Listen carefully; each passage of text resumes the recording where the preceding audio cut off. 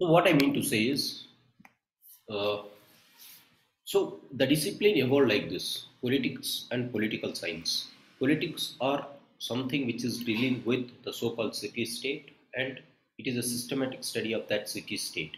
So it started in Greece because the people of the Greece they started discussing about how this uh, state is formed, what are the various players who are playing a very crucial role in organizing the state, what are the elements which are playing crucial roles such as the institutions and how they are being governed whether the institutions are functioning properly whether they have some loopholes? They are the first ones to study about all these type of things and then the subject of politics has evolved from that term called city state right?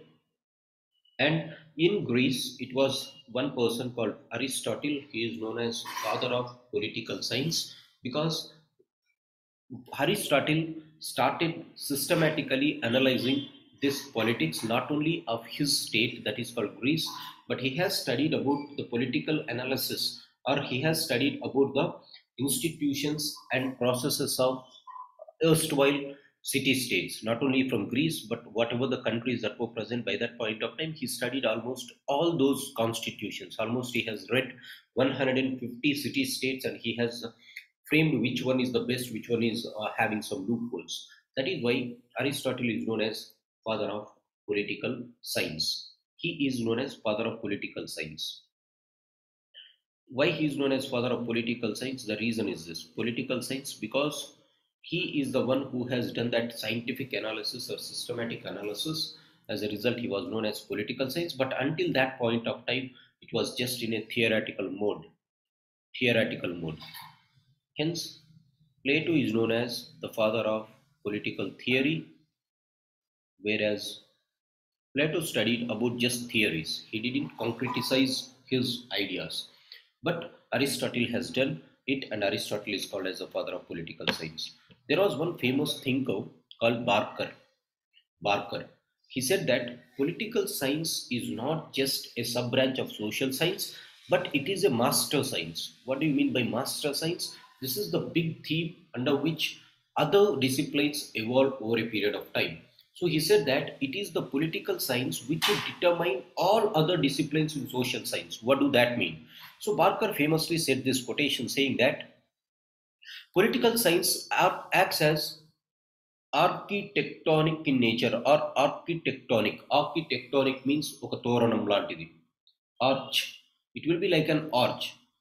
And all the other disciplines will be a subcomponent of this arch. So the, as we move inside the arch, there will be some sub-disciplines. So he has given that political science is a master science. Master science means social science. In that social science, it is the best science and all the other disciplines of social science are going to be a part and parcel of your political science. How that is said by Barker. Now, Barker is of the opinion that whatever of the other social sciences are present. Take for example society. Take for example economy. Take for example history. Take for example public administration. All these are the disciplines inside social science. But what barker is saying is your society is being organized by political dimensions.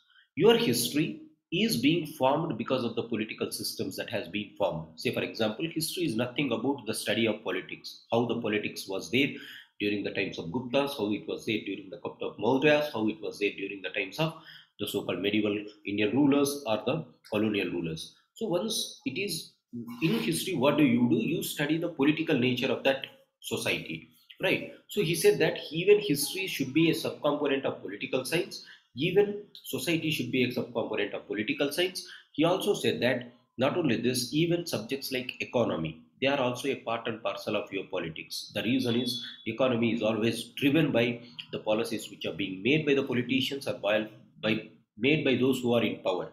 As a result, he said that all the other branches of social science are sub branches of political science. So he's of the opinion or he has given that don't consider that political science is just like any other social science but it has have it is having its own relevance unlike other social sciences such as history geography ecology ecology is pure science history geography economy right all these uh, psychology, public administration. All these are subcomponents of your politics. Sociology, he is also saying that sociology is also a sub branch of politics because society derives its values from politics. Right? This is what his uh, uh, nature is. As a result, he said that political science is master science. In order to understand this, what is master science, you should know what is science, what is social science, right? So under the social science discipline, political science is a master science and it is architectonic in nature.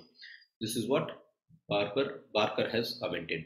So just remember this, what Barker has said. Political science is a master science and it is architectonic in nature.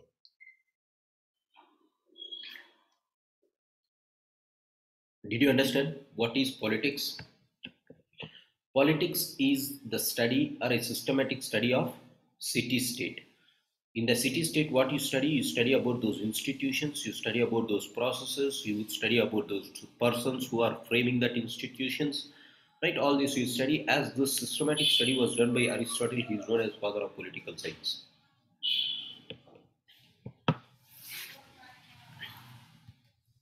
Sir how geography comes under social science?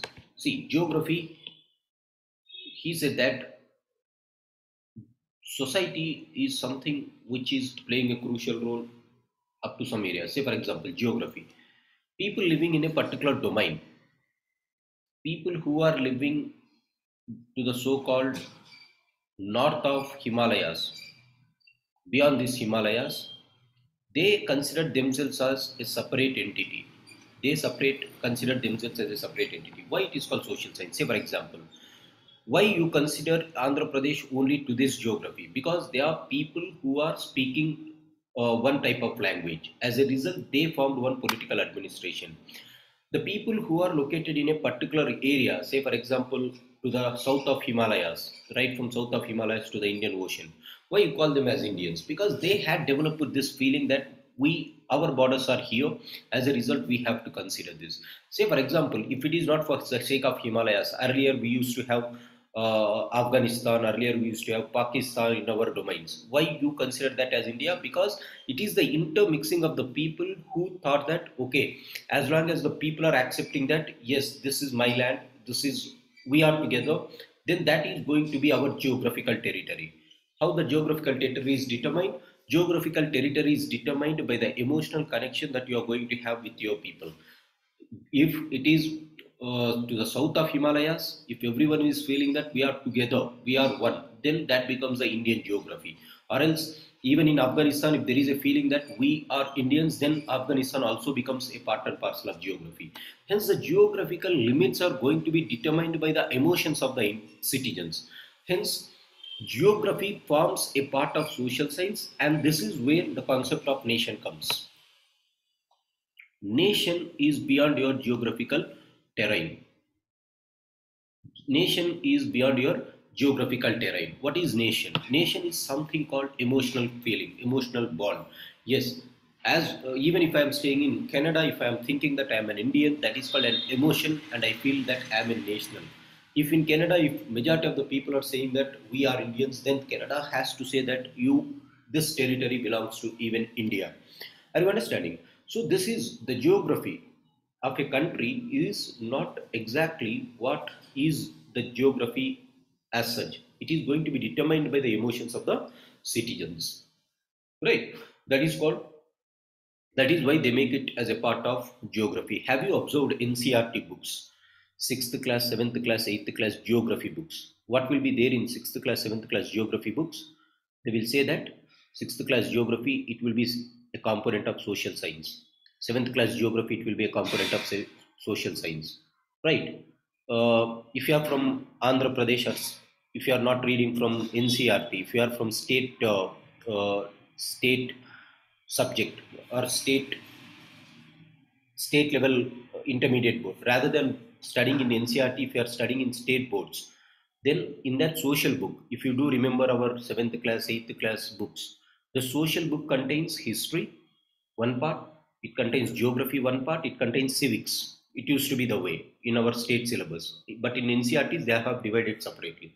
Why they have covered geography, history, civics under social? because all these are subcomponents of social society. Did you get it? Did you remember when you are studying in your school up to 10th class, if you are from state uh, board exam, if you are from state board, what constitutes your social, social subject? Social subject contains one part contains history, one part contains geography, one part contains civics, right? Why they have mixed three under social science? Because society or social influence is present on that. That is the reason when you study this history, when you study uh, politics, when you study the so-called geography in NCRTs, you'll find the same thing. One minute, I'll get the book.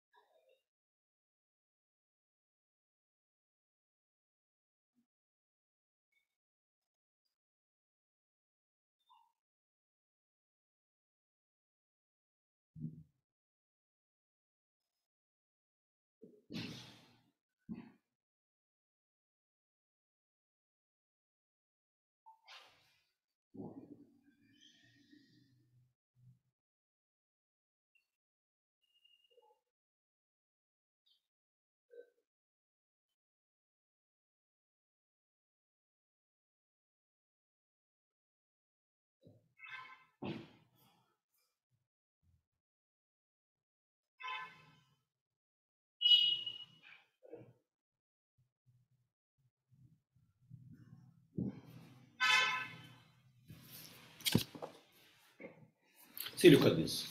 NCRT books. This is science. This is pure science book. This is pure science, which includes physics, chemistry, biology.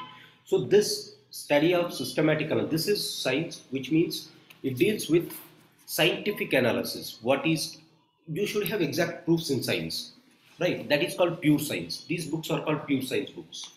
But when it comes to social science, this is not a pure science. You cannot have the facts like gravity always acts towards the center of the earth. That is a fact and that was beyond doubt.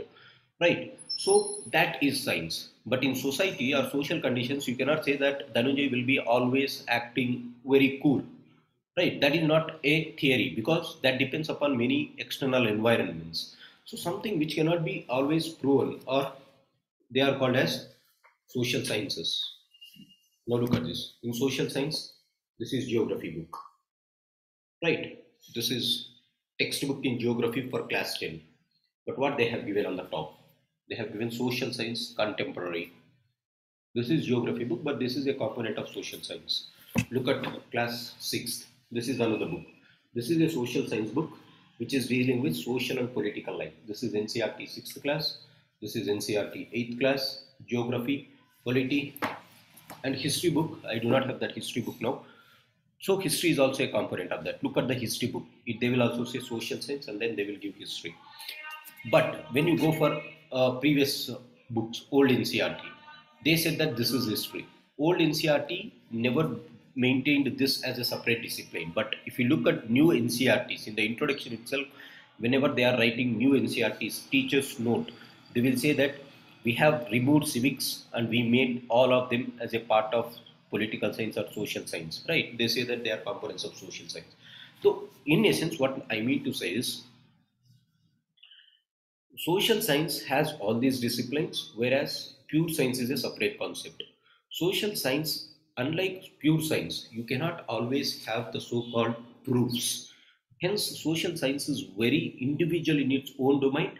The way you get the facts is quite challenging, unlike your pure sciences. That is what the thing is. Right? This is what uh, social science is. So, mass, political science is a master science. Master science, in the sense, don't consider that as a part of your sub part of your social science, but just like the social science, political science is one big science where other components are derived from that. So, that is what Barker says. But not to go into that depth what is state what is nation? I'll take this component when i am discussing about theories of state. There is second chapter that is called theories of state. I'll discuss that component there. But for now you understand what is the so-called politics what is the so-called political science. I hope you got the idea. Political science. I said what is political theory. Under political science political theory is one branch. In order to understand this i said what is theory And what is politics? Politics is the study of institutions, study of processes, study of the personalities who are going to uh, rule this, or studying the how they are influencing the individual at large. This is known as politics. And as it is being discussed, and as it is being discussed, institutions, process, so who will be dealing all these things? They will be dealt under one concept called state.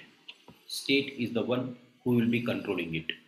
Hence, we have to study about state that we'll study in the later part. In politics, in politics, one more thing is after systematic analysis of institutions and processes, they have come to one final conclusion that politics is more about the so-called if you want to rule these institutions, if you want to ensure that the process of going on, there should be one important thing that should be present and that is called power. So unless and until there is power, you cannot have institutions to be governed. There is nothing called processes because everyone starts breaking the processes. Hence, politics is more related to power because the rest of the story of the institutions or the rest of the story of the system as such is depending on power. If it is powerful, if it is more powerful, the institutions work in a very uh, systematic manner. If there is no power, that doesn't work in a systematic manner. As a result, politics is about the so-called studying about power relations. Hence, whatever we think. I ask you this question. When I ask you about politics, I started this class saying that when I ask you a question about politics, the first thing that you answer is politics is something which is related to politicians. What politicians do, they always look for grabbing of power, right? So politics has inherent meaning of power. Why it has inherent meaning of power? Because in this systematic study of the city states or in this systematic study of the institutions, one thing is felt that any system has to run only with power. Hence, how to capture that power, how to maintain that power, how to ensure that power is controlling, or how that power is being organized. This is all about politics, or major portion of your politics is about how to catch that power. Hence, politics is often related or often equated to power. This is how the relationship has come. Politics equates to power. This is the reason. But in general, politics is about studying the systems. Having said this, let's move on to the so-called uh, power. Uh, this is another component. State is uh, second chapter. You have power. What is legitimacy? You study under this concept of power. Not only this, power is one component. And whenever you are studying institutions, whenever you are studying institutions, you have to study what are the various types of institutions which are present in order to understand that institutions whenever you are studying the state itself, you have to study how the state is being organized. The state always organizes in the form of government. There will be one government, and government is the one which organizes the state. If the state is the soul, if the state is soul, government is the body, right? Soul will be there, and government will be the body, which means in order to implement the state or in order to ensure that the state is functioning, there should be one agency which will be working there, and that working agent is called government. Hence, when you study state, you study the so-called government. Now, not only this, why this government is there, whenever you study about government institutions, you have to study about certain concepts. What are those concepts? You study about power, because politics is more about power. Not only this about power, but how the power is being managed. This gives rise to the so-called other concepts. If it is a democratic country, then how the power is acquired. Hence, the concepts will be about democracy. It will be speaking about the rights of the citizens. They will be speaking about equality. They will be speaking about justice. So all these concepts has emerged from political science or from politics over a period of time. That is the reason. If you look at the so-called first uh, paper, section A, Section A first paper is all about this, right? Politics, political theory is the first chapter. The second chapter is about theories of state, if you do remember. Now, why state has come? Why the second chapter is about theories of state? Because politics is about something called power, and that power is organized by an agency called state.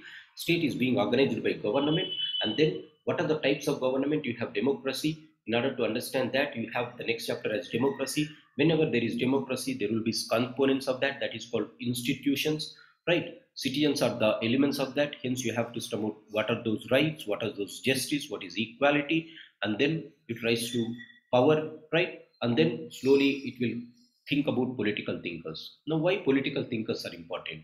Whenever we are studying systematically all these things, institutions, processes, it depends upon the time and scale, right? Politics is always contextual. What do I mean by contextual? It is always time dependent and space dependent. Whatever is politics which are present in ancient India might be different from medieval India.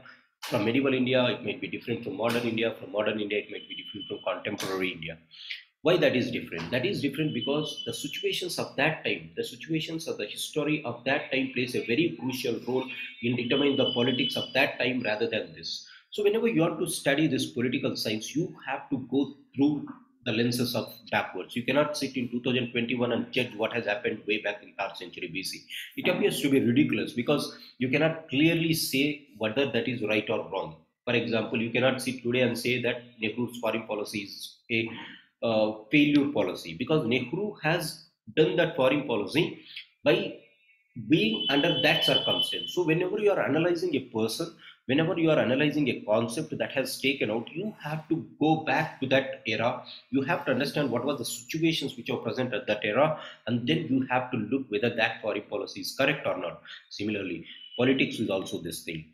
Whenever you are studying about structures, institutions, processes, you have to not judge from being in the contemporary world.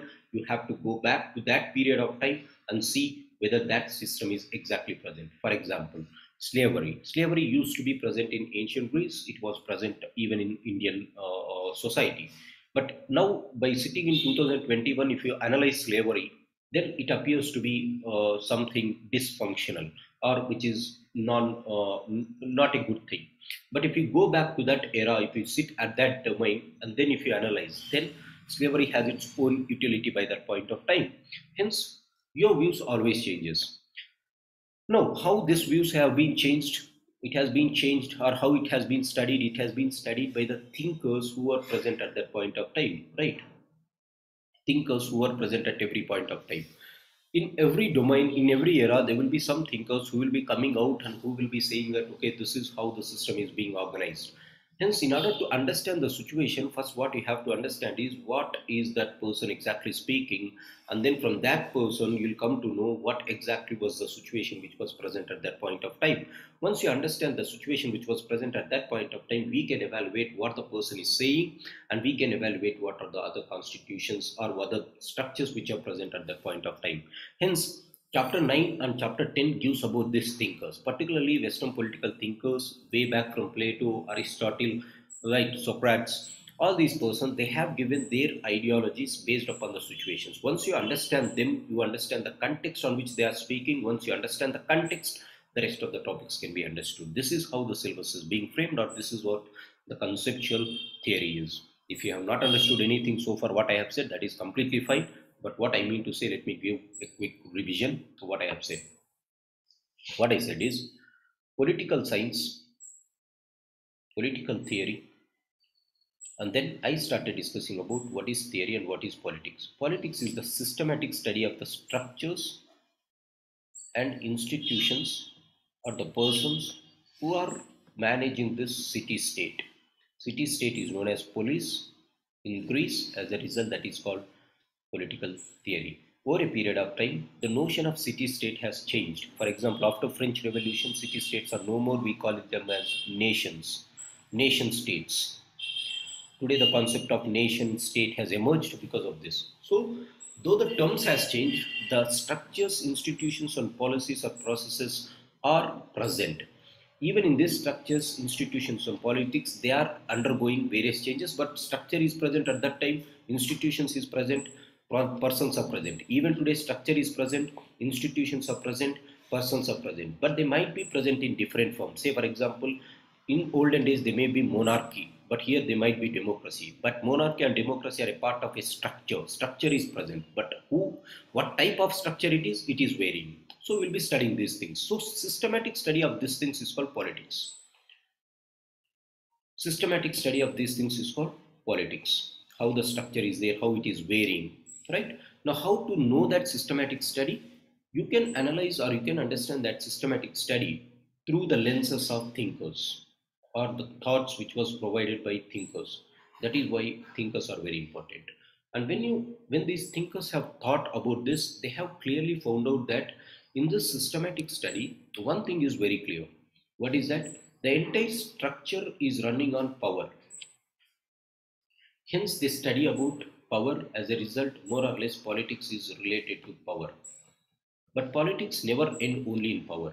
Politics is something beyond power. What is that? The concepts such as democracy, the concepts such as equality, the concepts such as justice. So these concepts do play a very crucial role in politics. Hence, overall, your section A, paper 1, all the sub themes which are present under that, all are components of the so-called politics. This is how the syllabus is being framed, or this is called political theory and political science. What is state, what is nation, I'll discuss when I am discussing the second chapter.